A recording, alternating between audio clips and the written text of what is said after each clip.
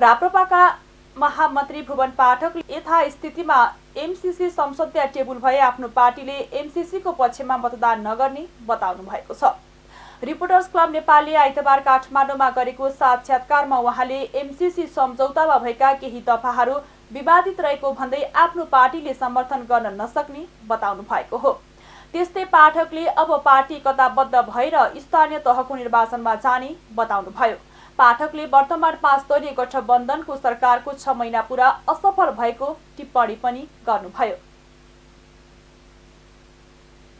निवृत्तमान अध्यक्ष कमल थापा र वर्तमान अध्यक्ष रायन दिदीको बिचमा सौहार्दपूर्ण वातावरणमा भेटघाट भएको छ छलफल भएको छ। यसले एउटा आइस ब्रेक गरेछ। अब जुन यो असहमतिहरू छ त्यसलाई कसरी सहमतिमा गराउने कसरी मिलेर जाने कसरी पार्टीलाई एकताबद्ध गराउने भन्ने विषयमा छलफल भएको छ।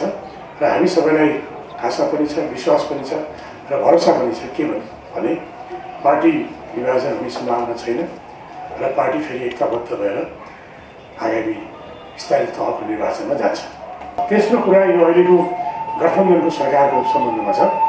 अहिलेको सरकार गठबन्धनको सरकार हो र छ महिना पुरा गरेको छ।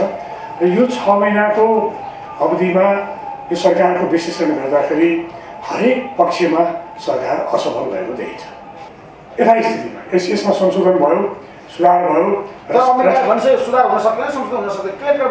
त्यो आएन अब त्यसमा राष्ट्रिय सहमति भएन यसमा सुधार भएन भने त स्वाभाविक रूपले हामीले यसको पक्षमा मतदान गर्नु प्रश्न आउँछ चुनावमा के अहिले अहिलेसम्म अहिले त्यो स्थानीय तह निर्वाचन परिचालन समितिको म संयोजक छु संयोजक भएको नाताले पनि हामीले स्थानीय तहको निर्वाचनको तयारीहरू गरिरहेछौँ र अहिले हाम्रो नीति चाहिँ सबै तहमा चुनाव निर्वाचनमा भाग लिने भन्ने हाम्रो नीति छ। त्यही त्यही क्रममा हामी तयारी गरिरहेछौँ निर्वाचनमा तालमेल गर्ने विषयमा पछि छलफल हुने उहाँको भनाइ छ।